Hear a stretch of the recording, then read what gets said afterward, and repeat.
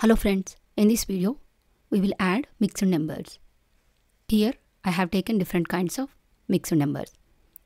In the first problem we are having the like numerators. In the second problem we are having the like denominators. In the third problem unlike numerators and unlike denominators. Let's solve the problems. While adding mixed numbers, you have to add the whole numbers apart and the fractions apart. That means first add 2 plus 1. These two are the whole numbers in the mixed numbers. Plus 3 by 5 plus 3 by 10. 2 plus 1 is 3.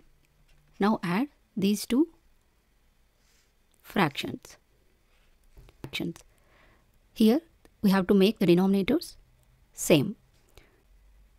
So here denominators are 5 and 10. So the LCM of 5 and 10 is 10.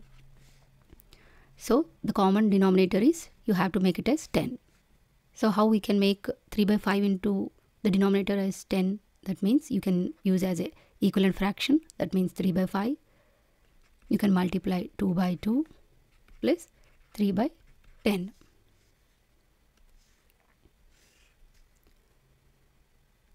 Three plus you have to multiply numerator numerator and denominator denominator. That is 6 by 10 plus 3 by 10 3 plus here the denominators are same. So you can add the numerators. 6 plus 3 is 9 by 10 is the common denominator. Now 3 and 9 by 10 is the answer. In this problem, we are having the same denominators. First, add the whole numbers and add the fractions. Then that will be 4 plus 5, the whole numbers and 2 by 6 plus 1 by 6. This will be 9 plus, here we are having the same like denominator. You just add the numerators. 2 plus 1 is 3 by 6. Then this will be 9. 9 and 3 by 6.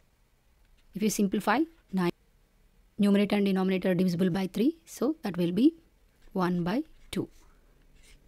9 and 1 by 2 is the answer. While adding mixed numbers, first you have to add the whole numbers and later you have to add the fractions. That will be 3 plus 5 plus 1 by 2 plus 2 by 3. 3 plus 5 is 8 plus here you can use the LCM method or you can use the equivalent fractions. Here I can say the LCM of 2 and 3 is 6. That means we have to make the same denominator that is 6. So how you, we have to make 1 by 2 as 6. Here 2 is there. If you multiply both numerator and denominator with 3 then that will be 6. The denominator will be 6. The same way 2 by 3. If you multiply numerator and denominator with 2 then the denominator will be 6.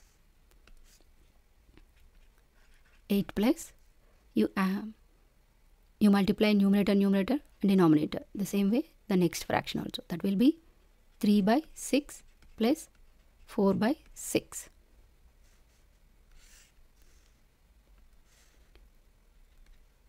8 plus here the common denominator is 6 you can add the numerators. 3 plus 4 is 7 here 7 by 6 is improper fraction.